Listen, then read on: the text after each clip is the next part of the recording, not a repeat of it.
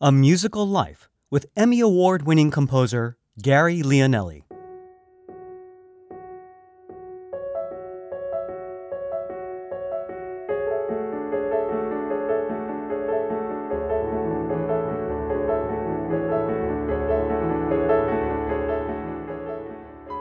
Film and television composer Gary Lionelli created the music for ESPN's critically acclaimed five part miniseries, OJ Made in America, directed by Ezra Edelman. In addition, he's provided music for Rory Kennedy's 2015 Academy Award nominated film, Last Days in Vietnam, and HBO's dramatic series, Luck, starring Dustin Hoffman.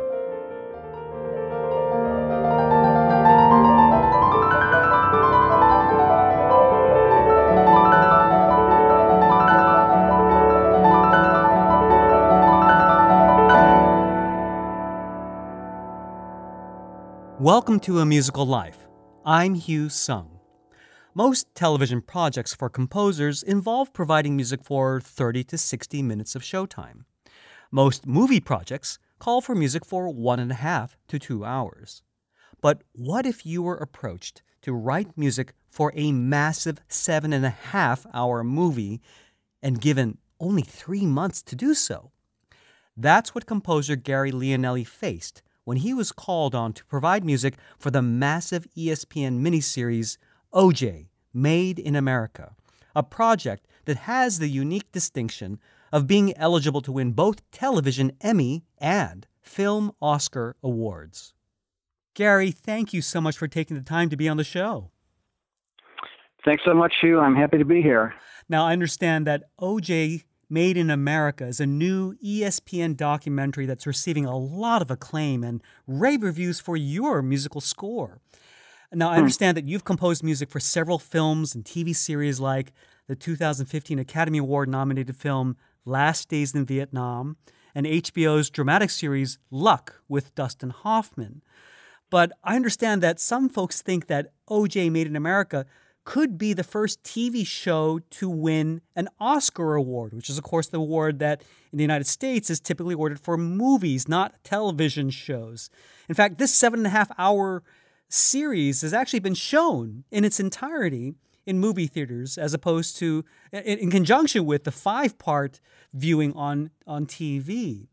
I'm wondering, this is a massive project. Did you approach scoring for this film or TV series as a TV show, or did you approach it as scoring for a movie? Well, funny you should ask that because when I got hired for the job, one of the first things the director told me is that he wanted me to approach this as if it were one big film and not to look at it as five separate episodes as a t- or you know as a TV series. He wanted uh, it to be conceptually organized as a as a film. And I think he wanted me to to kind of keep that sensibility in mind. So um, I did, you know, look at it like that. And of course, it was a giant film, and it was seven and a half hours, and it scared the uh, the hell out of me uh, uh, because I never worked on a project that long before. Uh, I mean, I worked on TV series and things like that, but there were always breaks. You know, you get to you know write for a week and take five days off or three days off, and and this was just solid writing for five and a half months, oh seven days a goodness. week, oh my, fifteen goodness. hours a day. Yeah. wow. So you were really sequestered in your room. How many was that? What, 16 hours a day, did you say? No, about 14 or 15 hours a day, oh seven days a week.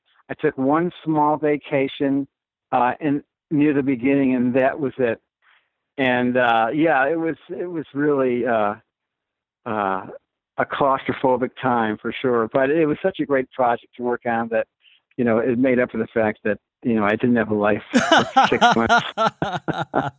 that is incredible. Were you brought on early in the project, or did they finish you know a, a large segment, or even because I know for a lot of projects, and again it depends on the project. Some movie projects the, the director will actually finish the whole film and then hire the musician and expecting to get the music written up in like some insane amount of time, like within two weeks or something.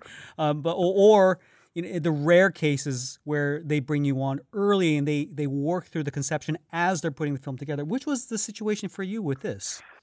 This was actually uh, I was brought on late, and there were a lot of reasons for that. But um, I was uh, this is the amount of film, the amount of work I would normally do in a year. And when I first was hired, I was told I had three months to do it. Oh my goodness, which you're is, kidding. Which is impossible. So I managed to, you know, just through talking with them and showing them what what's possible to get the deadline extended until actually 10 days before it ended up it, it was in theaters. Oh my so goodness. It was, we got the, the max that, that we could out of what was there, and which was five and a half months, which was not really enough, but uh, we had to make it be enough. So. Oh my goodness, uh, that's incredible. Yeah. Can you can yeah. you give us an estimate, approximate within that seven and a half hours of film or TV? How much music did you actually end up producing? Well, I wrote 183 cues. Oh my goodness. That's terrifying. Yeah, that, that, that, number scares me just hearing it. And I think probably about five and a half hours of music. Yeah. oh my goodness. Yeah. That is unbelievable. Wow. Somewhere like that, yeah. Yeah. oh, oh, okay. Well, I, I'm going to make sure all my composer friends listen to this. They are they have no excuses to be late on their deadlines or give me a few minutes short of what they promised. the, the good the good thing is, you know, after I got done with this, you know, I had another film waiting that I had to postpone, and it was only an hour film, and it seemed like a TV commercial. like only an hour film? You got to be kidding me! It seemed like nothing, you know. Wow. So now my my whole uh, my whole se- sense of of, of, of blanks and, and projects is totally different now in a good way. You know, nothing is ever going to be this long again. So yeah. Woo. Well, well, let's hold our breath. Who knows? Would you ever take right, on yeah, another massive right, yeah. eight or twelve hour project? I mean, because it's interesting because if you're working on a TV series, I guess as you mentioned, you do take breaks between episodes, even if there are what twelve to twenty episodes in a given season. Um, right. That's spread out over the course of a, of a year. Is that right? Right. Yeah, when I when I did Luck, you know, well, we had alternating composers on that show, so um, because they had a tight schedule and they didn't want one composer to go crazy doing it, so we had two, and uh, it, uh, you know, I'd do a, a an episode and I'd have basically a week off before I got the next one, and which wouldn't have happened if I was the only composer. And uh, but that week off is great just to be able to recharge and and think about what you want to do, maybe add a few new instruments to your studio, things like that that, that I really couldn't do on this project. Oh my goodness! Wow. Yeah. Well, listen, I I, So- I want to dive in to actually listen to some incredible samples from, and we're not going to listen to all five and five and a half hours of music, but we, we Right. uh, but you were kind enough to send over some representative samples, and I listened to all of Right. them, and they sound really incredible. What's what what struck me was the incredible variety of musical styles and the sounds and the instrumentation that you Mhm. used. For example, let's start with the music that you composed for the main and the end title sequences.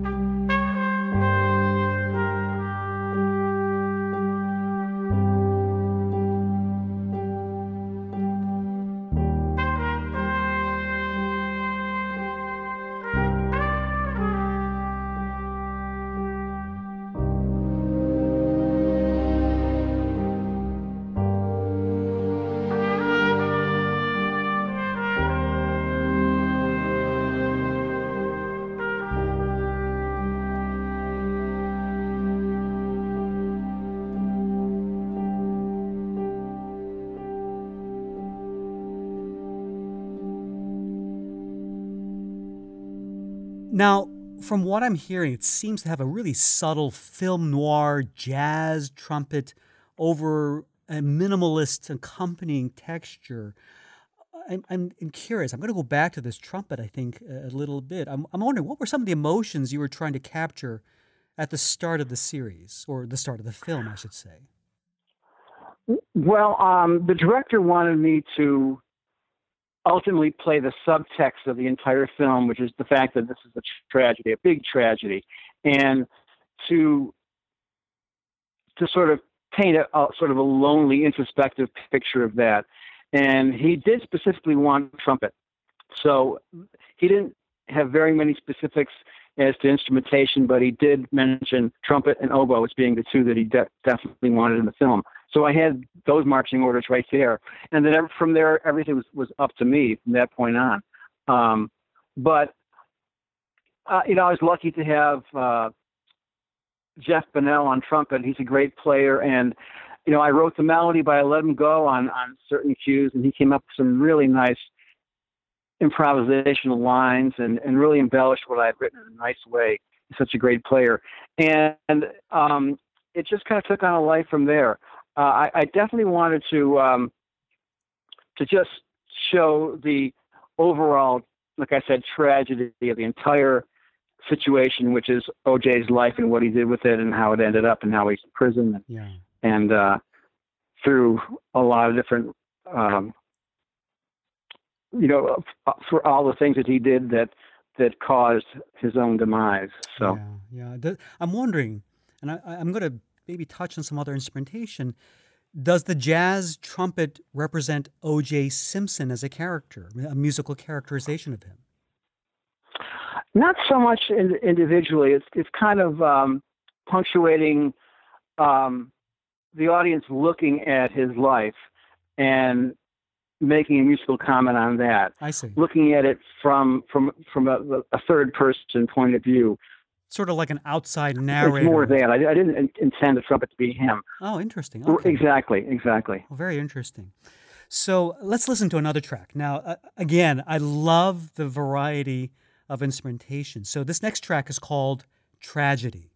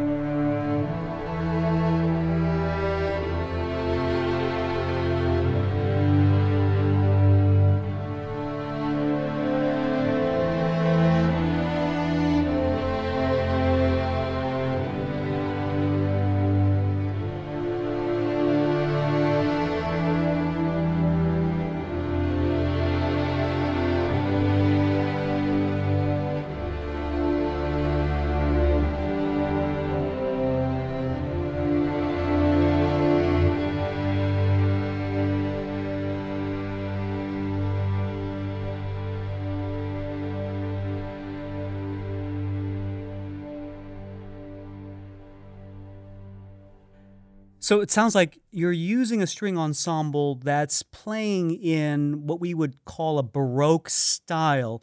So just to explain it, a modern, quote unquote, modern orchestra, the string players would use what we call vibrato. Their fingers would shake the strings to mimic a singer's voice. But a Baroque styling, you know, again, some interpretations would use no vibrato, keeping almost a pure, even, non-vibrating sound with each note. Was that intentional?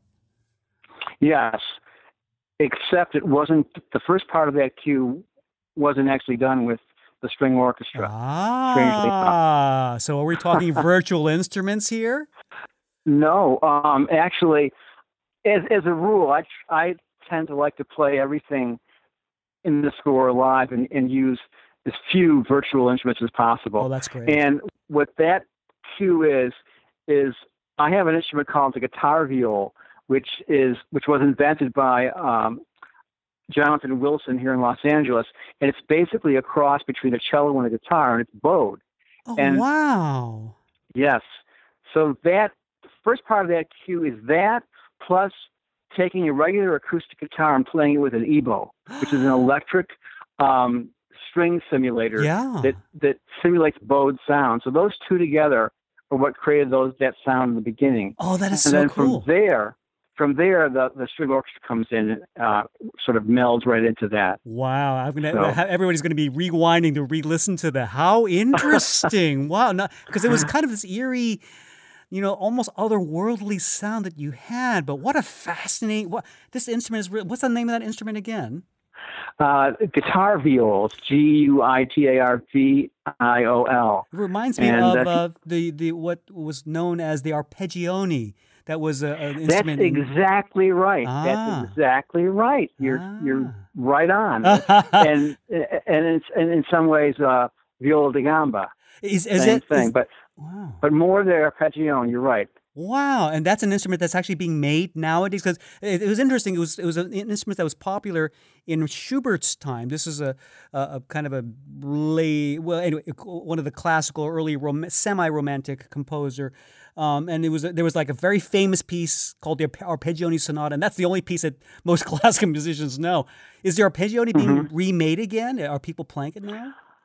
Well, you know, the, the inventor did make sort of his version of an arpeggione when he first started, but um, his intent really was to. He was a guitar builder mainly, so he approached it from that sensibility first. But he wanted to to create a bowed guitar, and to do that, you have to bow the fingerboard and make it arched so that you know you don't hit just you know you don't want to hit more than one string Yeah. unless it's intentional. So he developed this instrument which was electric only first, and then myself and a bunch of other composers convinced him that you have to do an acoustic version of this thing, and he did.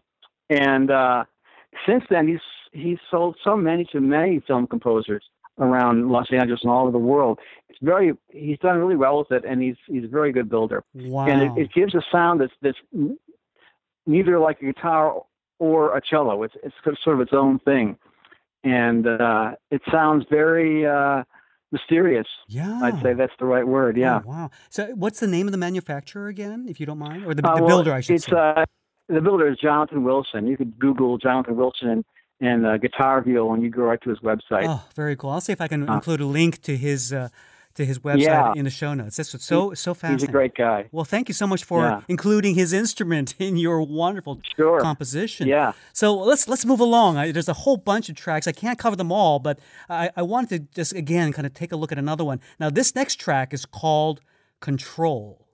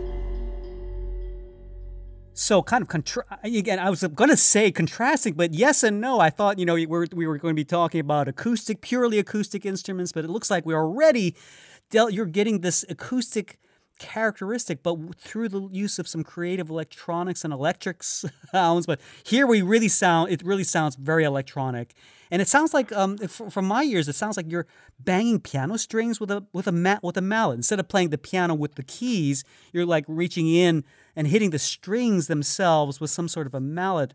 Am I correct? Or I'm wondering what sounds you used. Partly, yes. Uh, I do have a grand piano in my studio, and I did some prepared piano uh, work on that piece where uh, I'm hitting the strings with different instruments and uh, creating different sounds, and then running them through electronics and making them sound kind of otherworldly and and manipulating them in various ways so that they don't sound like the instrument they came from. Um, and in addition to the piano, I again use that guitar viol and a marimba a real marimba, you know, vibraphone, real vibraphone, uh, various little um, guitar noises, and all sorts of things. Everything was me playing a real instrument and not from a virtual instrument or uh, anything similar to that. It's all real, sort of played and then layered. It's a very time consuming way to construct a cue because there's a lot of trial and error and experimentation, and it can take three or four times longer to write a cue like that than just to write with strings, for example. Mm. So um, when I get a, and a lot of times I get requests for those types of. The more I do any one thing, the more I get requested to do more of the same. so I've had to do you know whole films with that type of uh, an approach, and that can take a long time. It's rewarding work because you never know what you're going to come up with, and it can be exciting and original. But yeah, it's a lot of work. So well, we we talked about some of the technical aspects. I'm wondering if you could just maybe comment on what was the emotional directive that you were trying to achieve through the use of all this, you know, time-intensive, laborious, laborious electronic, amp, you know, distorted instrumentation. What was what was the emotional impact that you were trying to to bring out in that particular scene? Well, I can tell you that scene, if I remember correctly, was uh, a letter that was being read um, that Nicole Brown had had written, and I think in the letter there were descriptions of of the horrors that she went through, oh, and uh, so it was a very dark uh, reading of this letter, mm. and the director wanted me to sort of in in a way sort of creep out the viewer with with these sounds that, that don't make sense and that that are sort of uh, get underneath your skin and, and, make you feel kind of queasy. And that was the, the you know the reason we did it like that rather than just with a traditional or orchestra. Yeah, uh, kind of the the opposite of what we would perhaps label as organic sounds, the inorganic. Yeah. Right, right. Wow. But but but originating in organic sounds, but turning into inorganic yeah. with electronics. Wow. Yeah. Wow, fascinating. Well, kind of going delving a little bit more into this, um, we're gonna our next track is called Trial.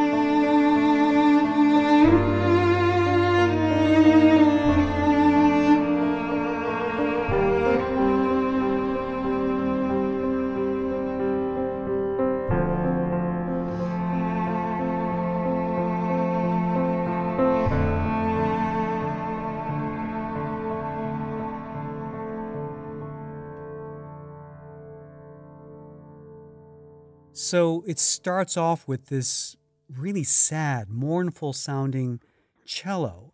And I know we had, I had asked you in the beginning if the trumpet represented O.J. Simpson, and you, you were saying that you're using instrumentation more as third party uh, commentators or uh, external narratives. I'm wondering though, this cello, I mean, to me, it almost sounds like it could represent Nicole Brown or at least her family. I'm wondering what, what, what were your, what was the emotional intent of that? We, we've gone from now we, we've just had a track which was very inorganic to something that is deeply organic. I'm wondering what you were trying to represent here. Right. Well, that scene, um, there were uh, on the screen were a lot of scenes that had to do with the riots in Los Angeles, mm. and um, you know some of the Rodney King and the Reginald Denny things, and uh, where buildings were being burned and there was all sorts of rioting.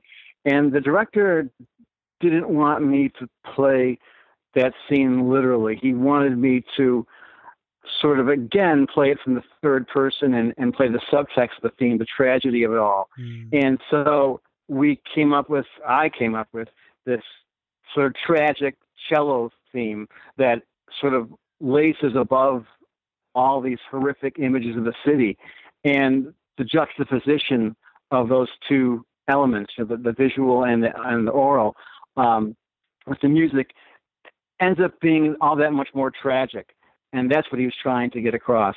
And um, so, where that could have worked very well for some of the uh, uh, Nicole scenes. As a matter of fact, there is a cue that you don't that you haven't heard that is not too dissimilar from that that does apply to her. So yeah, you are right in both regards. Yeah. Mm, so so it's really comment commenting on the the social tragedy, not just of one Yeah. person or family, but over an entire city. You know.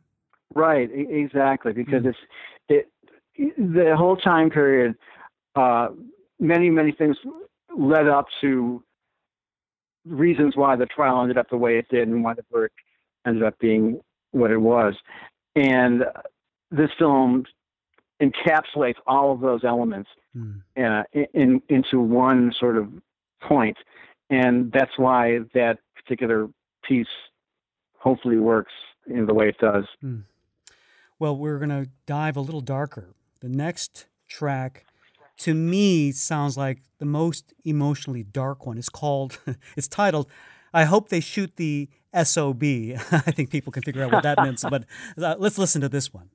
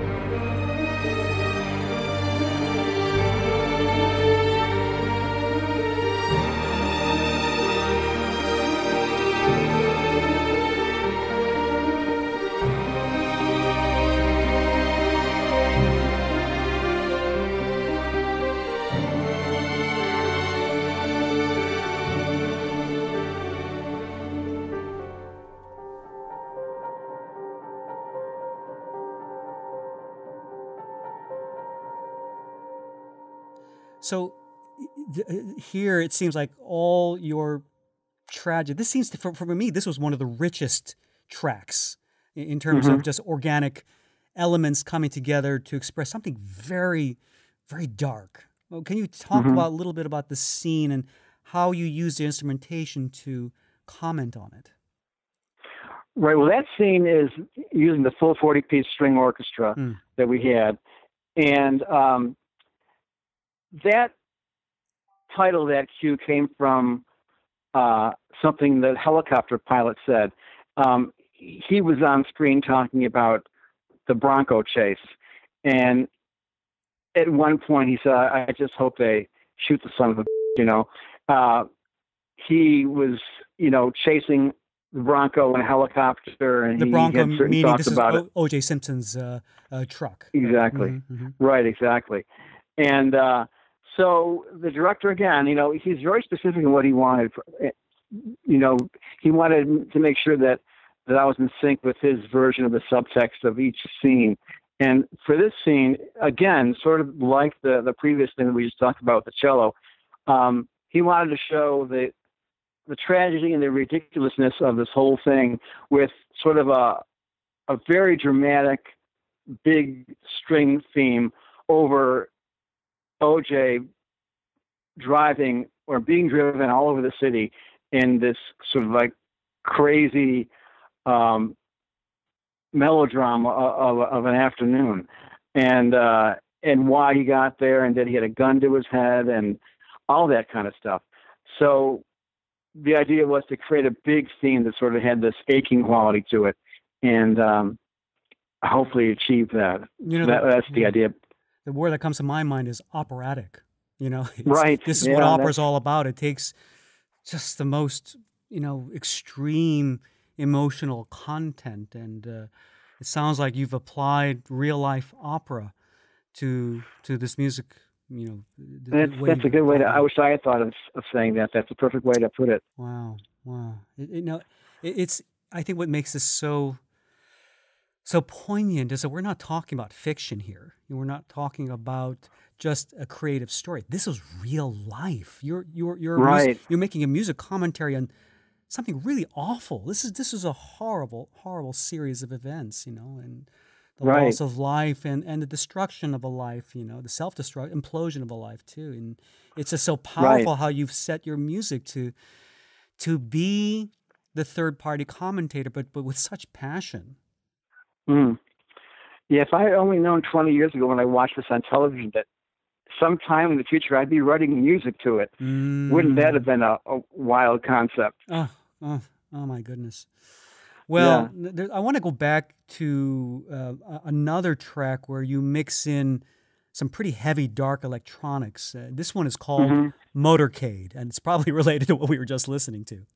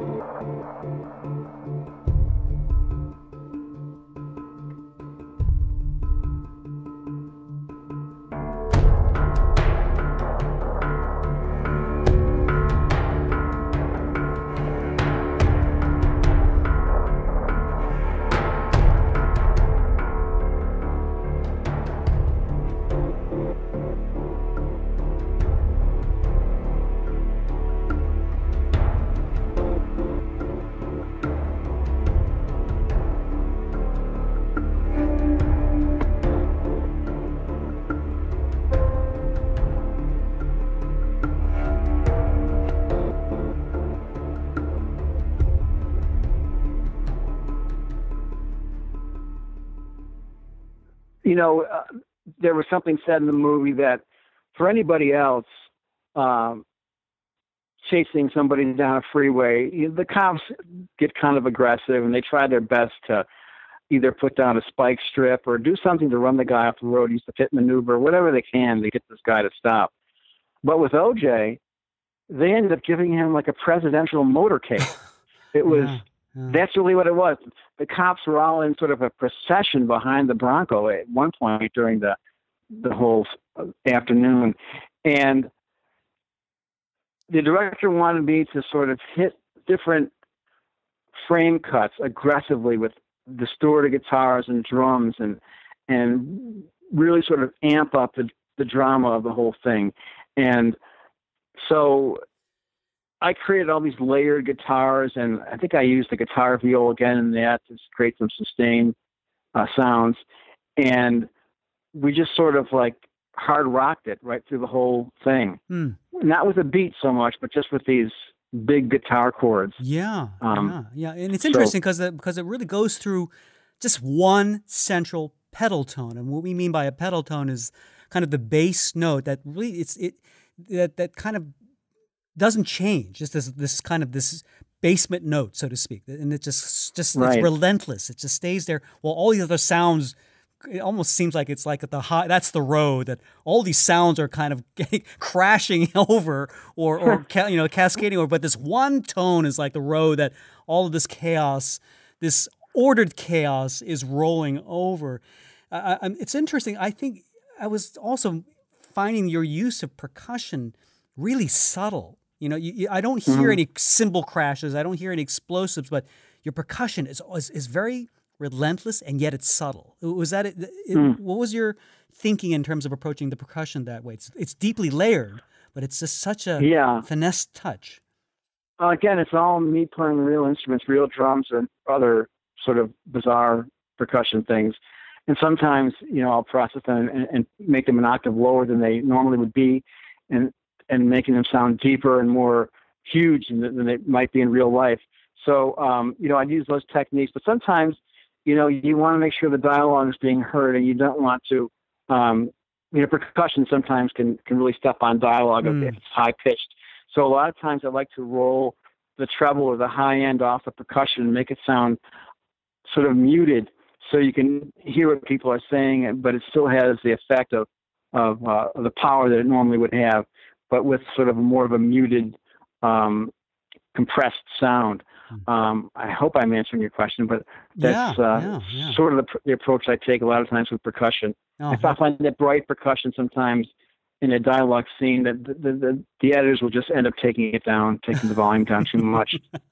so you yeah. end, end, up not so, hearing anything. Yeah. You just gave a great right. master class to a whole bunch of musicians and composers right there on how to score a, a dialogue scene. That's awesome.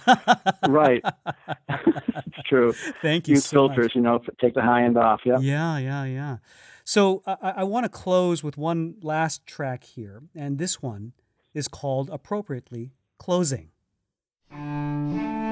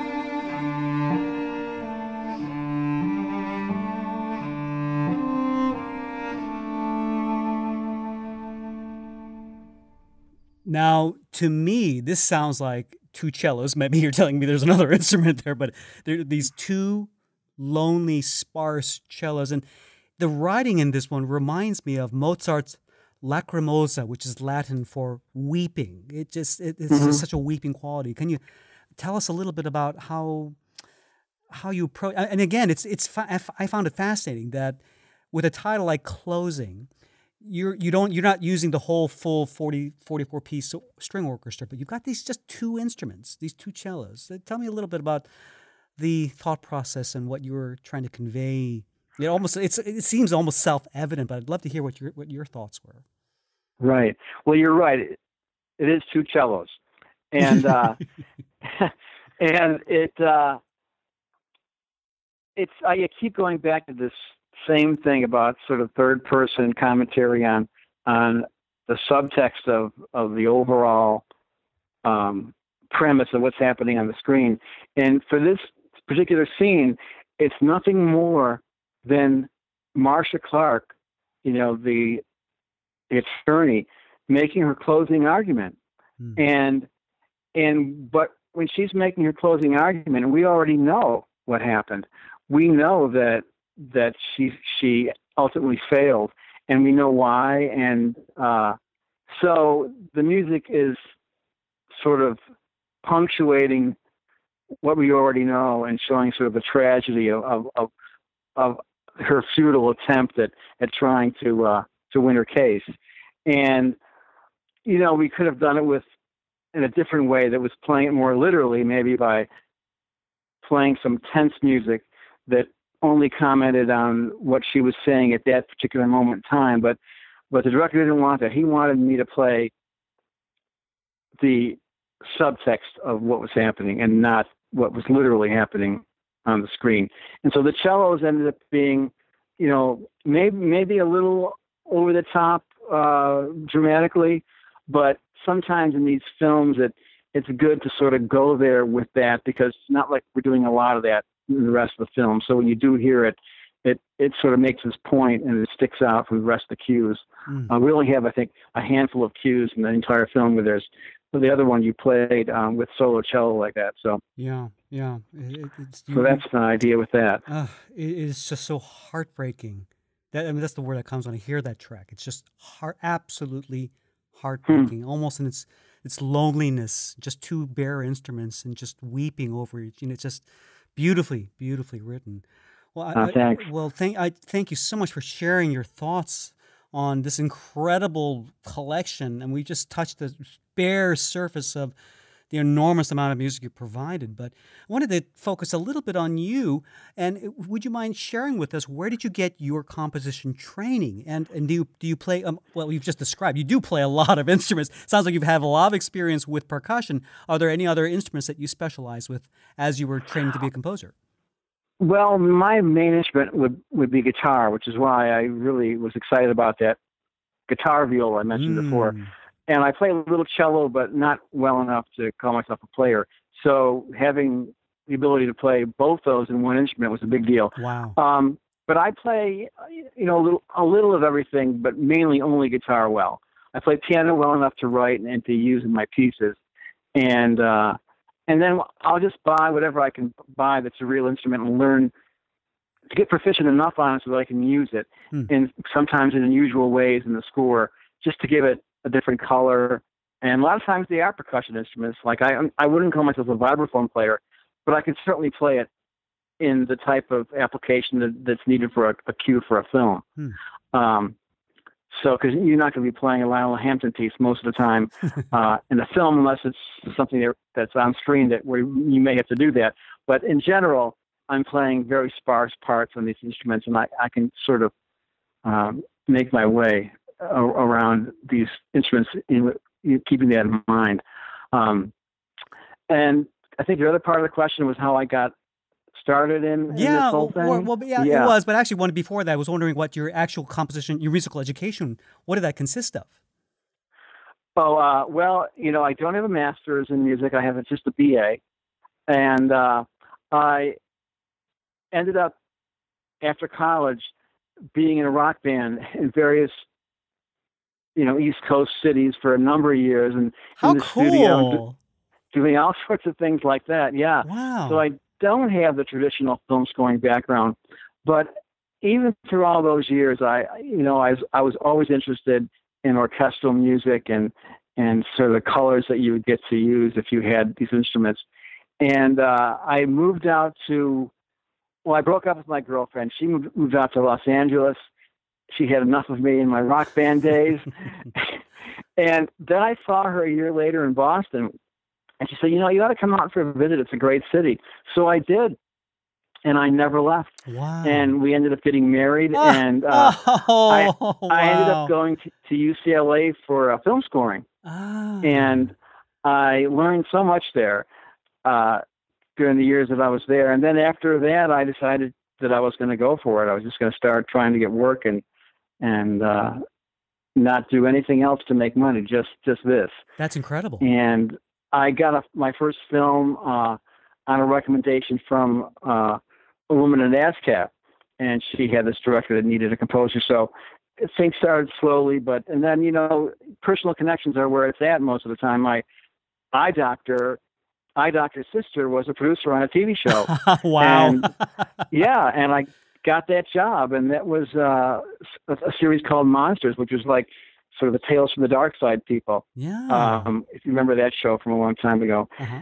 So um, yeah, and then you know, hopefully you you try to work really hard, and, and you you you depend on word of mouth to sort of work its magic sometimes, and then sometimes not.